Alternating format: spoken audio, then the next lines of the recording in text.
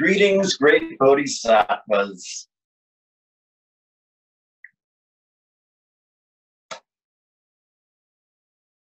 This talk is called Mathematics of Awakening.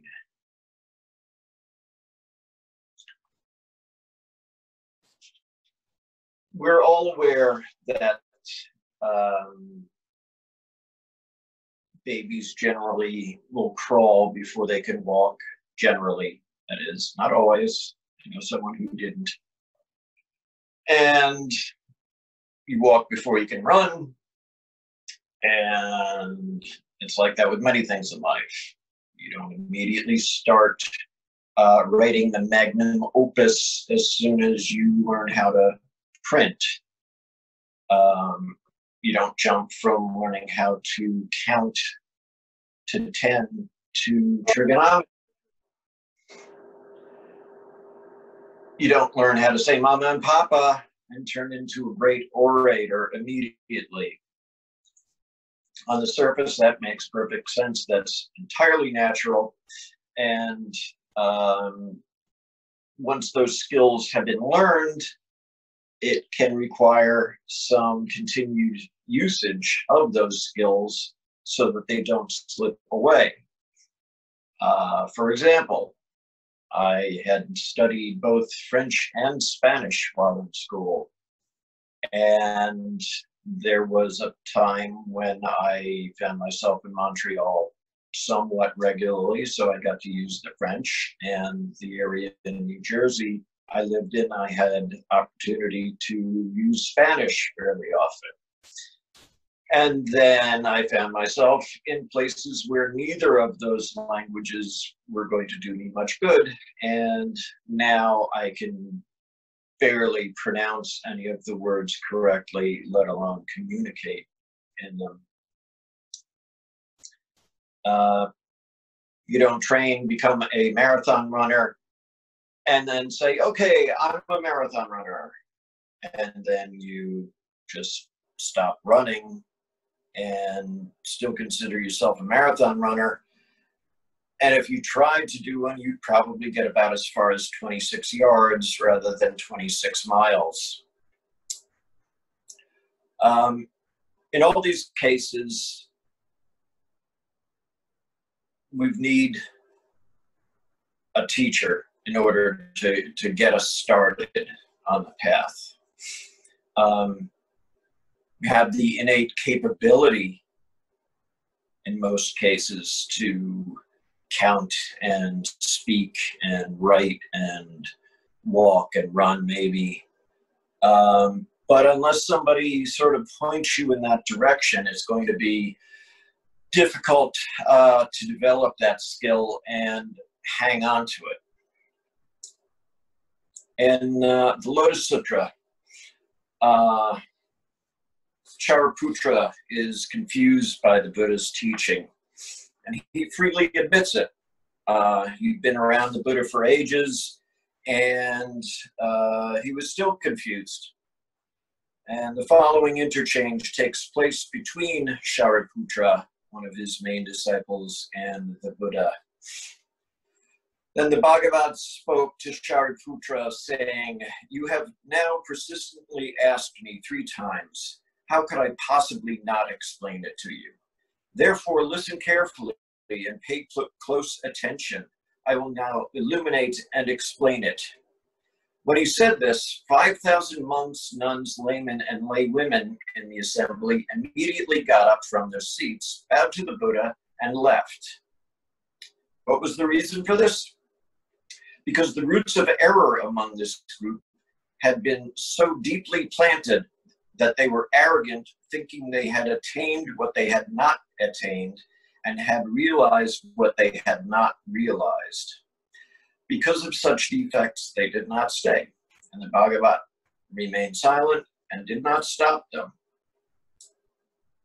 Then the Buddha addressed Shariputra My assembly is free of useless twigs and leaves. Only the pure essence remains. O Shariputra, Let the arrogant ones go. Listen carefully, and I will explain it to you. And Shariputra replied, Indeed, O Bhagavat, I greatly desire to hear it. Then the Buddha addressed Shariputra, Only very rarely do the Buddha Tathagatas teach such a true Dharma as this, as rarely as the Udumbara flower blooms. Then Shariputra replied, Indeed, O Bhagavat, I greatly desire to hear it. O Shariputra, trust and accept what the Buddha teaches. So what the what Buddha teaches to one, he may not teach identically to another. Uh, that teaching may come later, and maybe it won't even come at all if it isn't needed. There are those of us who think we're possibly more enlightened uh, in comparison to others, which, aside from being dualistic, is probably not the kind of thing that an awakened person would think. Um, we shouldn't assume that we know something just because we think we know it. We shouldn't assume that we understand something just because we think we understand it.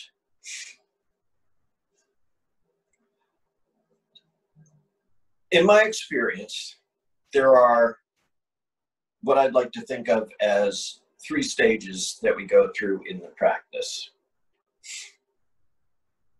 Now, for example, regarding the Four Noble Truths, uh, we hear that there's struggle, sometimes called suffering, which I'm not fond of, but we'll go with it. There's reason for it, and then there's a way out of it. Yay, there's a way out of suffering, yay.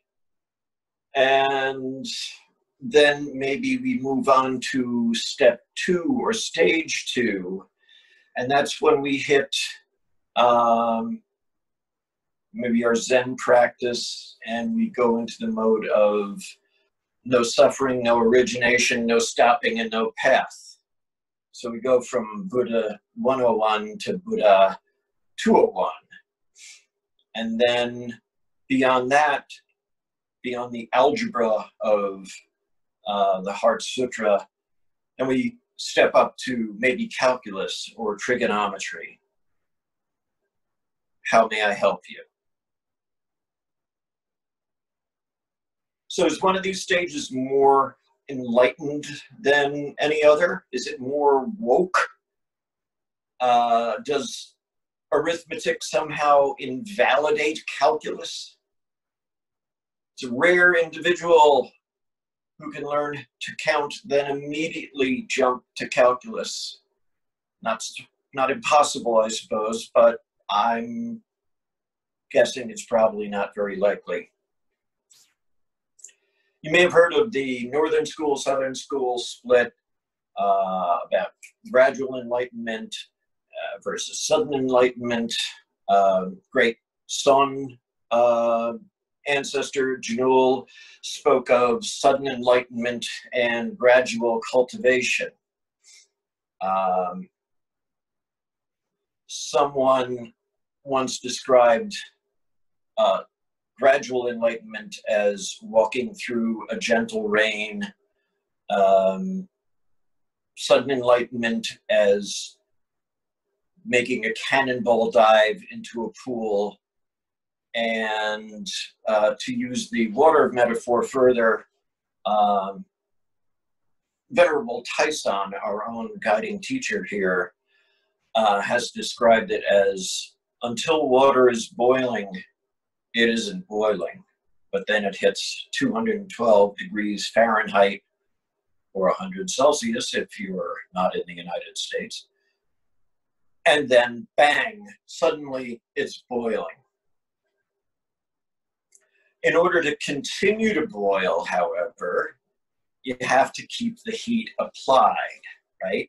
can't just say, okay, it's boiling, turn off the heat, and then expect it to stay 212 degrees. It's just not going to do that. You need to cultivate that heat. Um, the Buddha spoke of all of that. Northern school, Southern school, sudden gradual, sudden then gradual, Mahayana, Hinayana, all of that, somewhere or another throughout the Buddha's teachings, all those elements exist. Does a teaching on Mahayana exceed the value of a so called Hinayana teaching? Does the Northern School really fall short compared to the Southern School? They're all concepts, every single last one of them. And that's coming from a guy who's in the sudden slash gradual northern or southern school, sudden enlightenment, gradual cultivate, cultivation camp. It's all just a bunch of concepts. They're not they're not doing you any good. They may not also be any hindrance, but one has to realize that in the Lotus Sutra, the Buddha also spoke of ekayana, which is one vehicle, not great vehicle, not lesser vehicle, one vehicle. Is Mahayana right and Hinayana wrong? Is Ekayana right and both Mahayana and Hinayana wrong?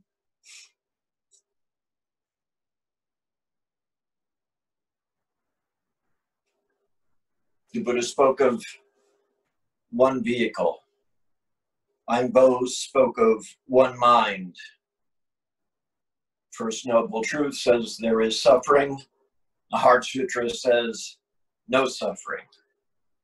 Which is right? Which is wrong? Trust and accept what the Buddha said. Trust and accept what the Buddha said. Trust and accept what the Buddha said. How may I help you?